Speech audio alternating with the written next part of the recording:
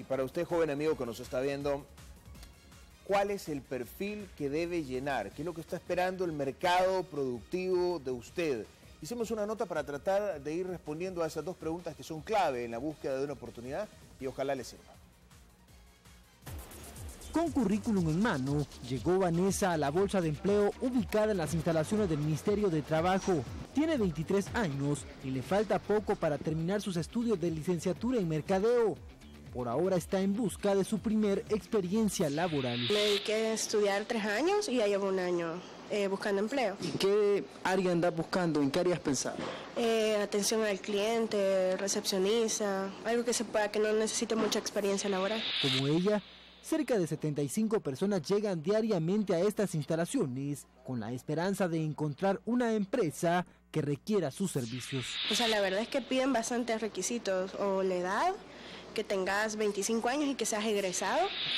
Hay empresas que le dan oportunidad a los jóvenes, hay empresas que lo que piden son experiencias y, o sea, un joven cómo va a tener tanta experiencia, ese es lo que contradictorio, ¿no?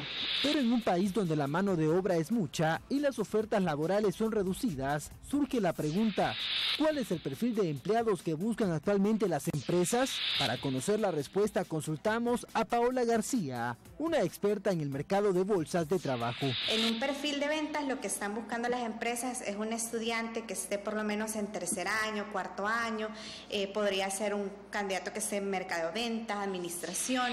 Pero al parecer no solo la preparación académica se vuelve indispensable, cuando una empresa analiza el perfil de un potencial empleado. No importa la carrera, pero que esta persona sí tenga disponibilidad de tiempo, que máximo su edad sean 35 años porque quieren a alguien jovial. Esta especialista en el mercado de bolsas de trabajo asegura que en los últimos meses ha incrementado considerablemente el número de jóvenes que buscan una oportunidad laboral. Yo creo que quizás ha aumentado un 15%, que la gente sí está buscando más trabajo, eh, no importa la, la, la carrera. Se señala que en la desesperación por no encontrar un trabajo, muchos jóvenes profesionales incluso se muestran abiertos a aceptar trabajos que nada tienen que ver con sus áreas de especialización. Por ejemplo, en el caso, digamos, una persona que está graduado de ingeniero, le pongo el caso de ingeniero biomédico, a veces trabajan de cajero, entonces que no tienen nada que ver con su carrera, pero sin embargo la misma necesidad los hace de ponerse a trabajar en otra área.